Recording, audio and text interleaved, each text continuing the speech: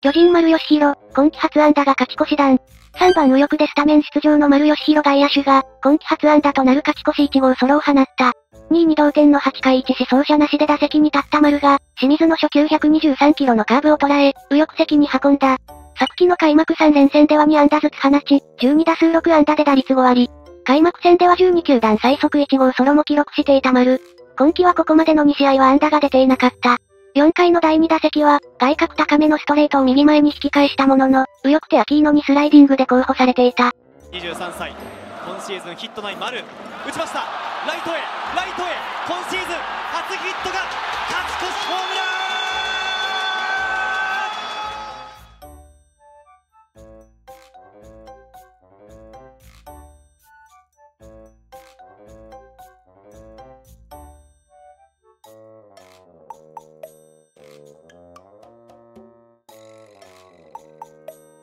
難しいのをよ打つわ。助演男優長野。これわかったか？丸ちゃん、ワイは信じとったで丸選手の場合は、一本出たら続けて打つと思いますから、心配有りません。丸選手でチャンスを広げて、岡本選手、中田翔選手と続く打線を期待しています。強いね。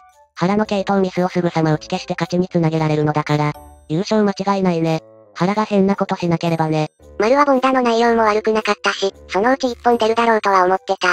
あとは坂本かな。打球が弱々しいんだよな。